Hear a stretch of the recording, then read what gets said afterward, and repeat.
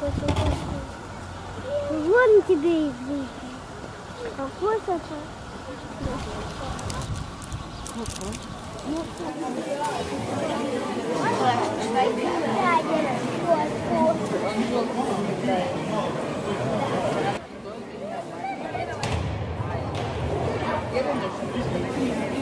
Он вообще офигенный.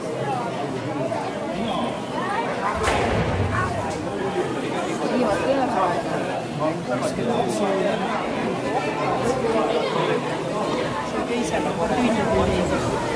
film. Şimdi aynı film bakalım. Cennet koymuş.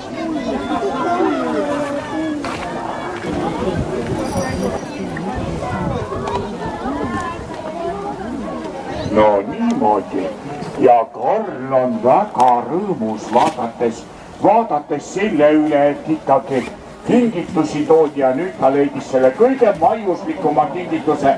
Kohe hopsti lahti ja kõige mõnusamad seemned ta sealt ülesse otsib, ega Karl poiss teab, kus on ikka kõige, nagu öeldakse, kõigepealt sõi soolast, võttis kuuske ja, ja muid ehteid. Ja nüüd läks enda magustoidu kallale, nagu ikka, võtab mõnuga seda aga küll oli tore kõikide loomadega ja teiega armsad.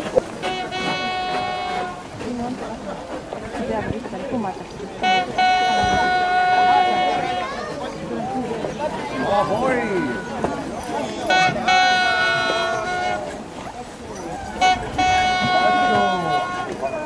kas sa oled ka patsu või?